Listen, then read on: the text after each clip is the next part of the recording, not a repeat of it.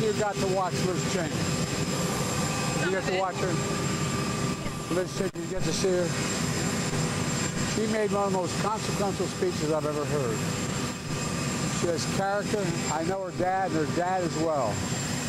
We argue like hell, but I always admire his courage and honesty. What she did not took only political courage, but physical courage. Physical courage it took to do. I've never been so proud. I really am. Really incredibly proud of her. She deserves it.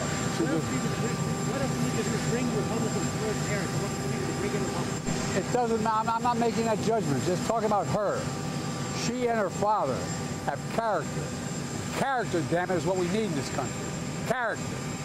There's not enough of it in terms of how we conduct our policy. President, Mr. President, you said you've been talking to Israeli Prime Minister Benjamin Netanyahu. Why hasn't that happened yet? What are you waiting for? Because there's no action going on right now. The four workers have announced that they're suspending their strike until the 15th of January. Can you tell us what you think about that? When is some of your deals get I know I think about it. We've been working hard on it. And we just, the grace of God, the good little neighbor is going to hold. Uh, thank you.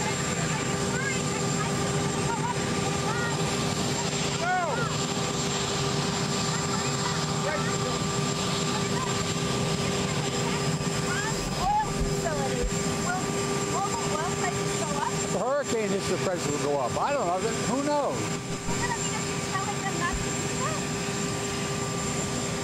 I told you I don't negotiate in public.